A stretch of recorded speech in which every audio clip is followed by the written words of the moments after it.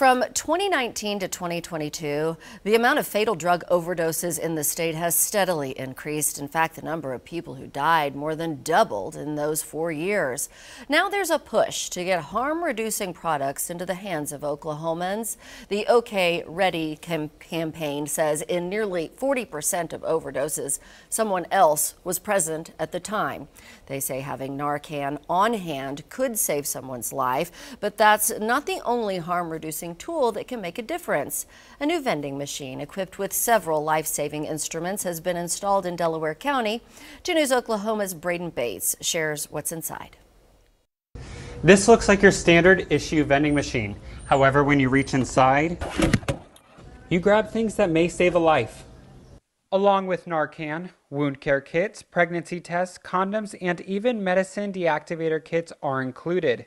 Brandy Myers knows far too well the impact life saving tools can have. For me personally, um, I have friends who have died from overdose.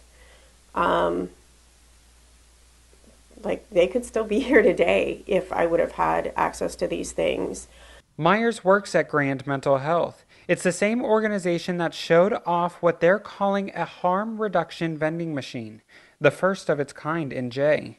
By sharing my story, I am able to let them know that there are other people that are like them and that those people are actually here to help.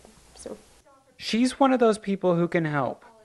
Along with other staff members, she understands the impact this machine will have on the community.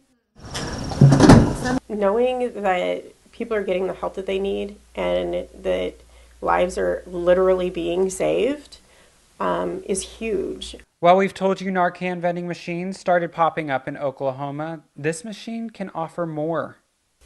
Um, it's vital. Um, Grand Mental Health and the Delaware County Community Partnership partnered together to make this happen.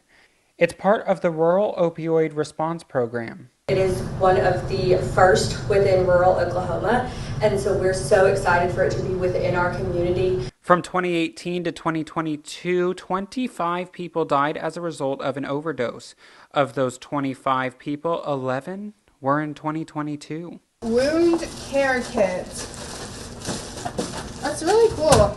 Staff here at Grand Mental Health tell me that these resources are free to the public. In Jay Braden Bates, 2 News, Oklahoma. The vending machine is open 24 7 and located outside Grand Mental Health in Jay.